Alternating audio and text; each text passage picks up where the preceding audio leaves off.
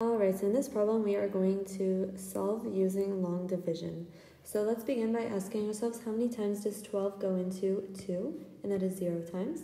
So we'll move on and ask how many times does 12 go into 28, and that is 2 times.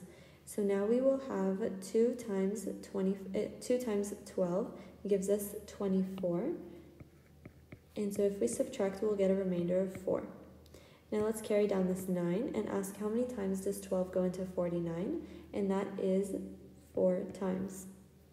4 times 12 is 48. And if we subtract these two numbers, we get 1. And we'll carry down our last remainder of 5.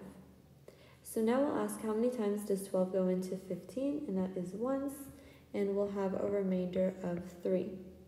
So now we have to put, place a decimal because we still have a remainder and we want to continue solving. So if we place a decimal place here and add a zero, we can carry down this zero, but we do have to carry up this decimal place. Okay, so now we can ask ourselves how many times does 12 go into 30? And that is 2 times. And 2 times 12 gives us 24. 30 minus 24 gives us 6.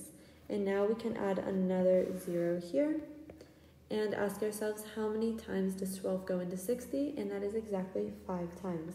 So our final answer is going to be 241.25.